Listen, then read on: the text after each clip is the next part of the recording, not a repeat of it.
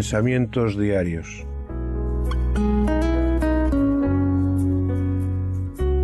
Sencillas pero profundas reflexiones para cada día de nuestras vidas. Meditaciones de la palabra de Dios nacidas de un corazón agradecido por su gracia y misericordia. Pensamientos diarios.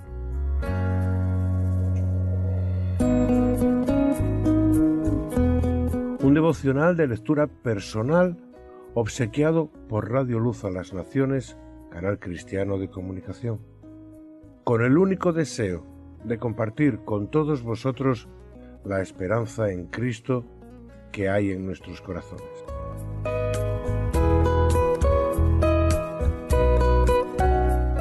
Regocijarse.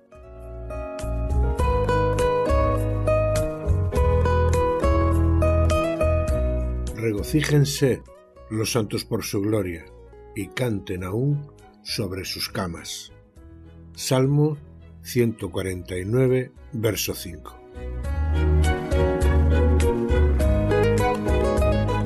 Al leer este verso de los Salmos me vino a la memoria una pequeña charla que tuve allá por el año 2001 o 2002 con una doctora. Una seria enfermedad había estado por mucho tiempo enmascarada en mi interior sin dar ninguna señal ni dolor, y un buen día, sin previo aviso, decidió comenzar a mostrar su virulencia.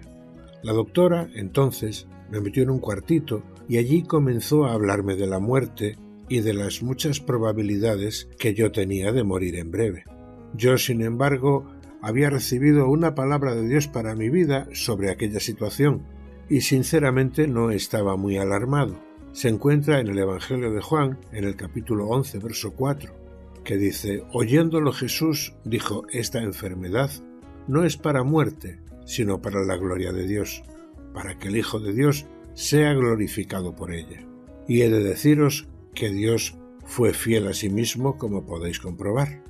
Aquella doctora llegó a dudar por un momento de mi sensatez, pues ante sus avisos de alarma yo no reaccionaba como ella esperaba. Yo simplemente asentía mientras que por otro lado intentaba darle a entender que, aunque existían muchas probabilidades de que yo muriese en poco tiempo, también existían muchas probabilidades de que fuese ella la que muriese antes que yo, y que en mi caso yo tenía clarísimo mi destino final, algo que para ella era una absoluta incógnita. Regocíjense los santos por su gloria y canten aún sobre sus camas. Este salmo nos invita a alabar a nuestro Dios, darle gloria al tiempo que nos anima a regocijarnos y cantarle aún sobre nuestras camas.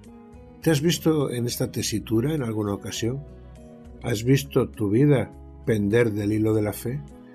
Dios, dentro de su sabio entender y santos propósitos, nos lleva a lo largo de la vida a enfrentar situaciones en las que no vamos a saber qué hacer o hacia dónde dirigir nuestros pasos. Hasta es posible que nos lleve a estar postrados en una cama sin más posibilidad física que a duras penas ver cubiertas nuestras más básicas necesidades. ¿Qué vas a hacer? ¿Qué vamos a hacer entonces? Regocíjense los santos por su gloria. ¿Cuántos motivos hay en nuestras vidas por los cuales regocijarnos ante Dios y por su gloria? El principal, que perdonó todos nuestros pecados y agravios, todo el peso que hundía nuestras vidas en lo más profundo de una eterna condenación. Y todo eso lo hizo por su gracia. Nada que no fuese pecado surgía de nuestro ser, Nada que no fuese rebeldía y maledicencia salía de nuestras bocas. Y aun cuando reconocimos nuestro pecado, necesidad y condición, fue siendo guiados y convencidos por el poder del Espíritu Santo. ¿Cómo no vamos a regocijarnos y a cantar de sus bondades y bendiciones? Nunca sabremos por qué Dios tuvo ese deseo, por qué su corazón se llenó de gozo y de amor hacia unos seres tan alejados de su santidad, de la justicia como nosotros. Pero aquí estamos, redimidos por su gracia y abrazados a la cruz de su Hijo Jesucristo, quien nos acercó las buenas nuevas de esa salvación tan grande e inmerecida que tú y yo hoy disfrutamos. Tú, sí, tú, sí, sí, tú, tú que lees o escuchas esto.